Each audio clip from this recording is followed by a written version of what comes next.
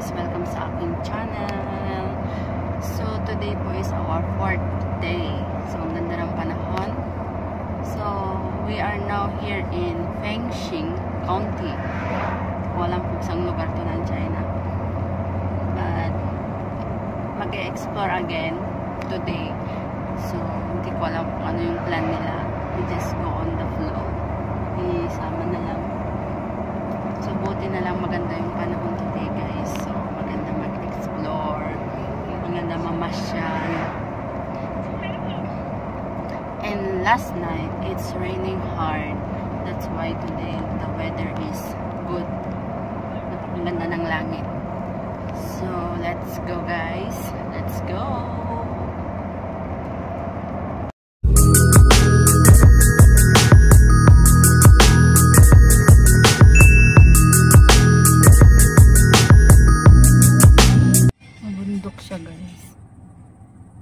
Santa Fe.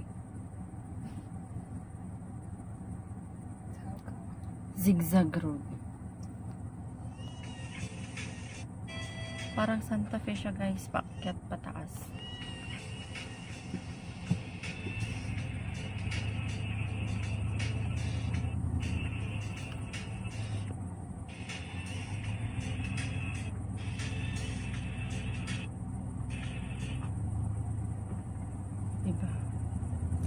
Yung road pa lang nakaka-excite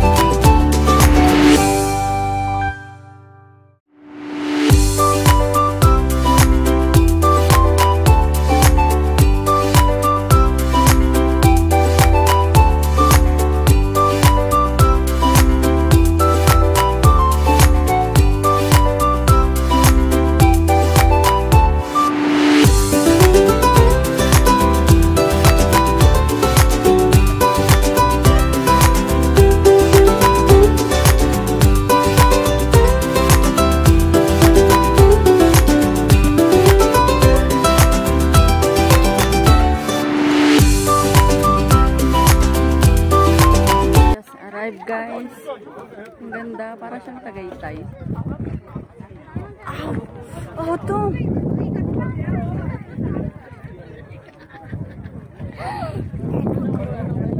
Aka, mag... Bunas!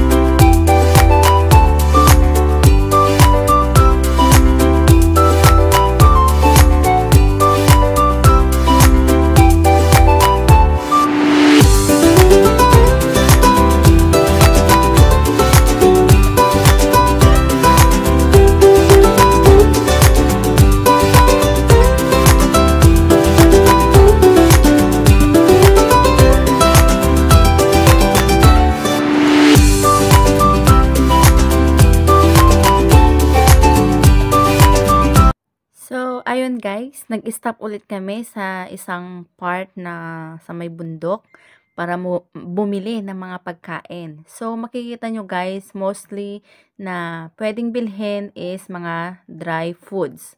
Ayan yung mga brown-brown na yan is mga karne yon, mga dry meat yon. Tapos ito mga nuts, iba't ibang klase ng nuts. Tapos meron din mga candy. Itong candy na to is made of milk. Um, kasi mayaman sila sa gatas sa part ng Mongolia part. Mayaman sila sa gatas ng uh, cow, tsaka gatas ng sheep mayaman sila.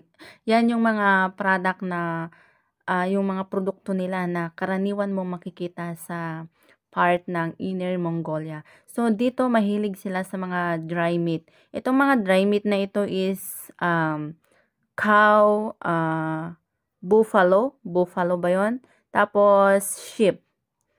Uh, masarap siya guys. Kaya lang dapat uh, i-check mo yung uh, yung yung yung uh, kalinisan niya. Anong tawag doon?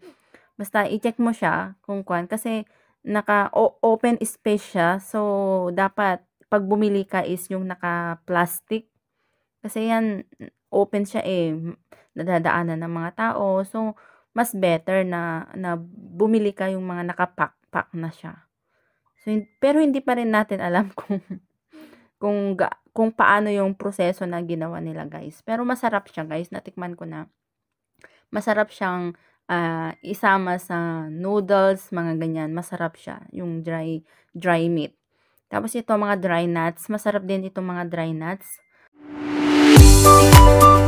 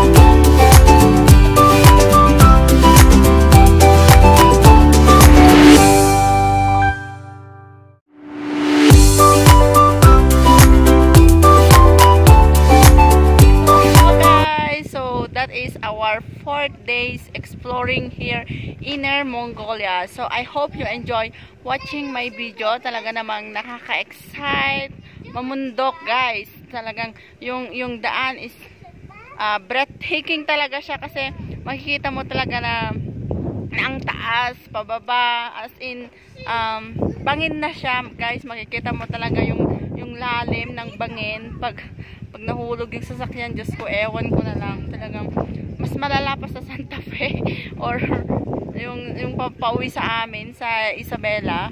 Pero napaka-excitement guys, napaka-gandang mag-explore ng iba't ibang places. So nakita nyo naman yung mga bundok, 'di ba? Ang ganda guys. Na, na, nakaka nakaka nakaka-refresh talaga ng mind.